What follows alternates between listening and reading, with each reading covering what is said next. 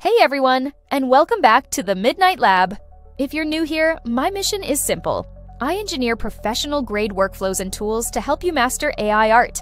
So please subscribe and hit the bell icon if you want to stay updated on new AI updates.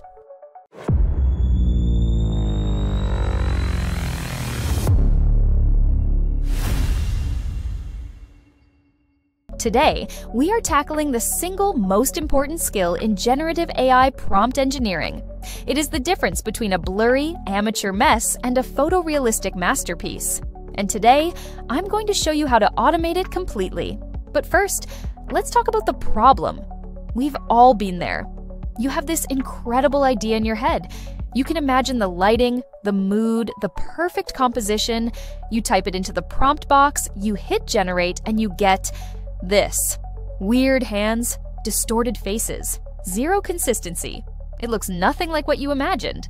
Why does this happen? It's not because the model is bad. It's because the AI doesn't speak imagination, it speaks data.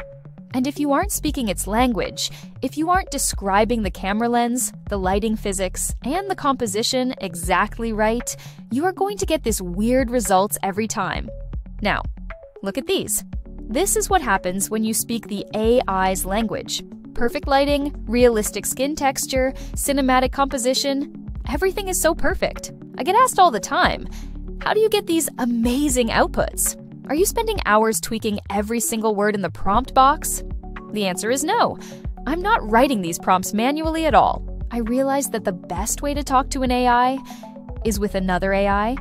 So, I built a solution a dedicated engine that takes your visual idea and instantly translates it into the exact technical language, camera specs, lighting physics, shutter speeds that models like Flux need to create perfection. Let me show it to you.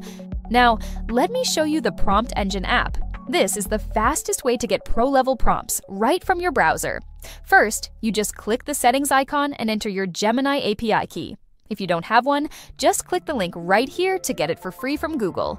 The app saves it locally, so you only do this once. Now, simply upload an image. I'll grab this portrait, then just hit Generate Prompt. It takes just a few seconds. And wow, look at that!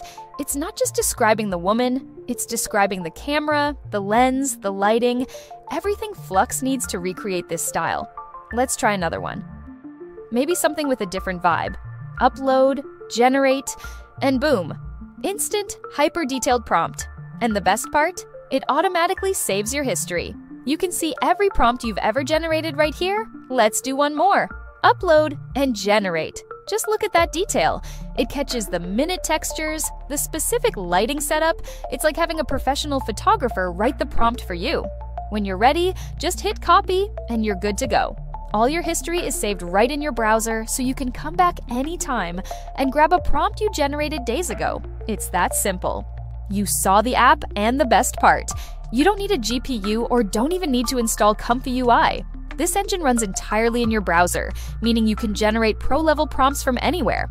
I've also architected this for total privacy. Your API key and your entire prompt history live exclusively in your browser's local storage. Nothing is sent to my servers. You maintain complete control over your data. But a quick warning because this data lives locally, if you clear your browser cookies or run this in incognito mode, your history will be wiped. So keep your environment persistent. So, the app is perfect for speed and accessibility. But what if you're building something bigger? What if you need to process 50 images at once, or feed these prompts directly into a complex generation pipeline without copying and pasting? For the power users, the architects, and the automators, I've built the prompt engine workflow. Now, if you want to integrate this intelligence directly into your pipeline, here is the prompt engine workflow. It starts here with the Florence 2 model.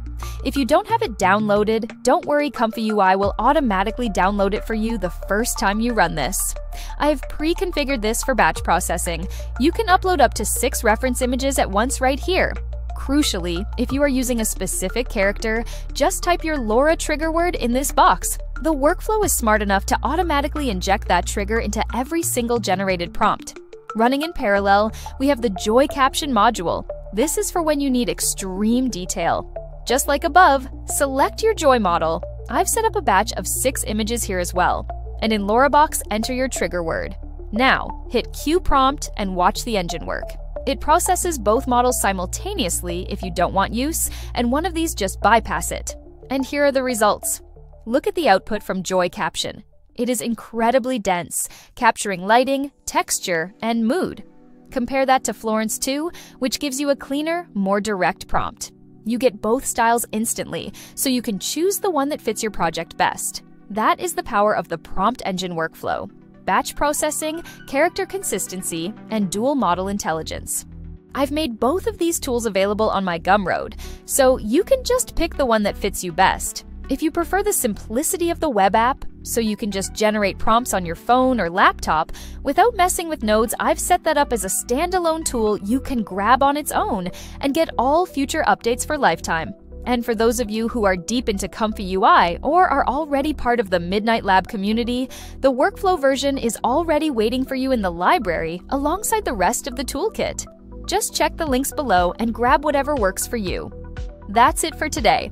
I really hope these tools help you finally get the results you've been looking for. Make sure you subscribe to the channel so you don't miss that drop when it's ready. Now I'm heading back to the lab and I've already started working on the next workflow. I have something really exciting planned for you guys that pushes things even further. Thanks for watching and I'll see you in the next one.